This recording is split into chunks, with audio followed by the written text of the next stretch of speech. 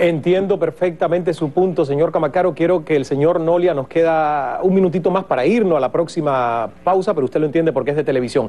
Libertad de expresión, me quedó claro. Libertad de prensa, desde su punto de vista como periodista en ejercicio que es dentro de Venezolana de Televisión. ¿Hay libertad de prensa en Venezuela, sí o no? ¿Y está amenazada? La más, la más absoluta como no la hay en ningún país del mundo. No existe ninguna amenaza. Nosotros llevamos 12 años oyendo que Chávez amenaza la libertad de expresión y esa amenaza nunca se concreta porque no hay ningún interés por parte del gobierno de limitar ese derecho. Ningún país del mundo tiene el clima de libertad de expresión que hay en Venezuela y eso no necesitan creerme. Basta con que cualquier persona en el lugar que se encuentre del planeta vea vía internet un periódico venezolano, la primera página nada más, vea un canal de televisión venezolano, por ejemplo Globovisión, y que luego saque la cuenta de si en su país un canal de televisión puede decir del jefe del Estado lo que se dice en Venezuela. Muy bien, eh, muchísimas gracias por la respuesta. Hacemos una pequeña pausa y regresamos con más de esta conversación. Y después quiero preguntarle si realmente, por ejemplo, el caso de Globovisión, acá nosotros tenemos la, la idea de que el caso de Globovisión podría, digamos, estar quién sabe, en terrenos no muy claros en un futuro la existencia de este canal. Quiero que usted me diga si existirán espacios como Globovisión en el futuro dentro de la Venezuela que hoy vemos. Entonces hacemos una pausa y regresamos con más de esta conversación. No se nos vaya.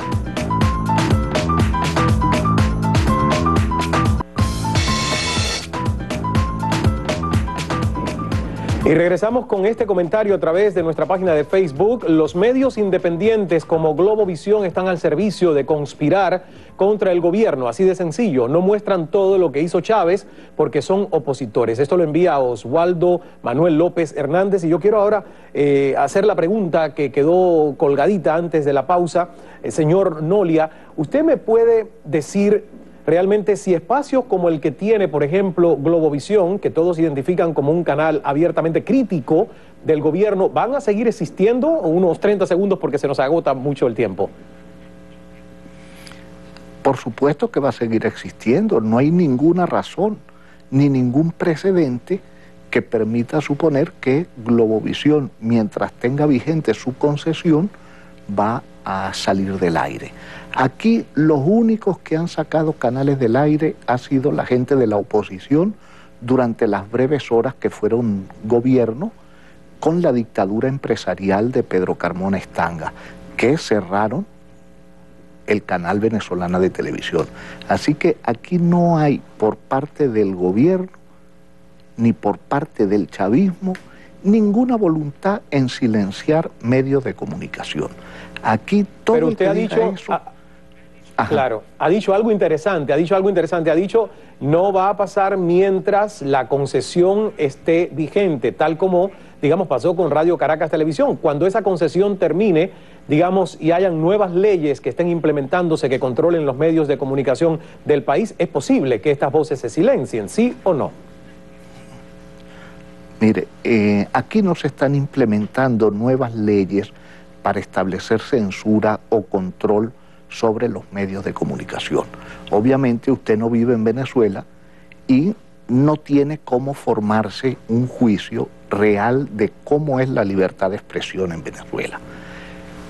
Los medios de comunicación en nuestro país y en el mundo entero operan bajo un sistema de concesión que otorga el Estado pero la frecuencia, que es el principal activo de un canal de televisión, sigue siendo propiedad de todos los ciudadanos, no es propiedad de los dueños de un canal. Así que decir si cuando se venza la concesión de Globovisión va a ser renovada o no, pues sería un ejercicio de brujería o eh, tendría que yo tener algún tipo de cargo público que me permitiera tomar la decisión. Yo no tengo ningún cargo, yo soy periodista periodista. Y entiendo, y entiendo precisamente que además tampoco tratamos de hacer brujería, al menos en este programa, y yo sé que usted tampoco. Hacemos una pequeña pausa porque nos actualizamos con las noticias más importantes desde el Centro Mundial CNN en Atlanta.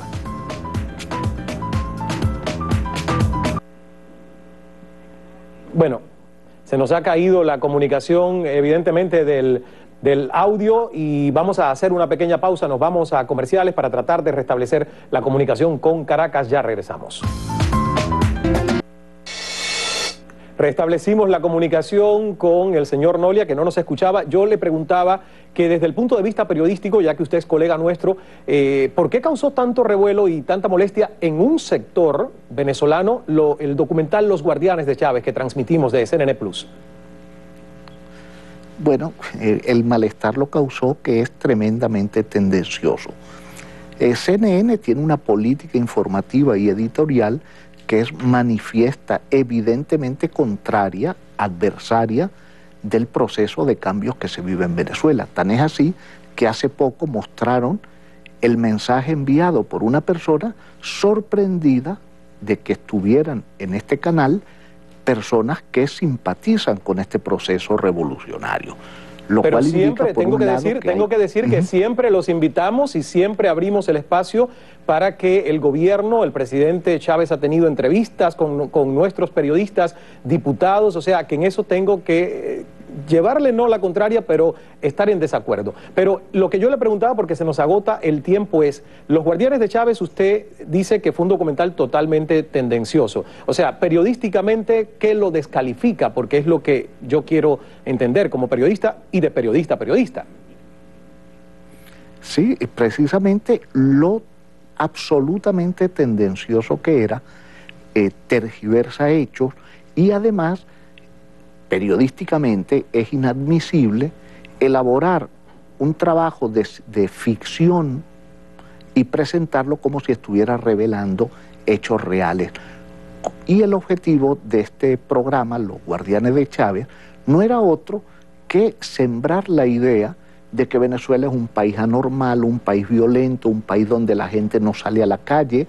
Y resulta que es todo lo contrario. Venezuela es un país donde la gente sale a comer, va a los restaurantes, Usted va a un restaurante en Caracas y posiblemente tiene que esperar un buen rato por la mesa porque están llenos, la gente va a los cines, la gente hace una vida absolutamente normal y además el sector chavista es el sector pacífico, el sector no violento, el sector que no agrede, el sector que no golpea, pero cada vez que hay un incidente en los medios nacionales e internacionales te lo tergiversan. Señor Señor Nolia, se nos agotó el tiempo. Muchísimas gracias. Usted ha tenido la última palabra, como siempre es tradición en nuestro programa. Muchísimas gracias a William Camacaro, presidente del Círculo Bolivariano, que nos acompañó desde Nueva York, y también al diputado oficialista Manuel Villalba, que estuvo por la primera parte de esta hora. A ustedes muchísimas gracias y, como siempre, sigan en nuestra sintonía y recuerden que el secreto del buen hablar es saber escuchar. Hasta la próxima.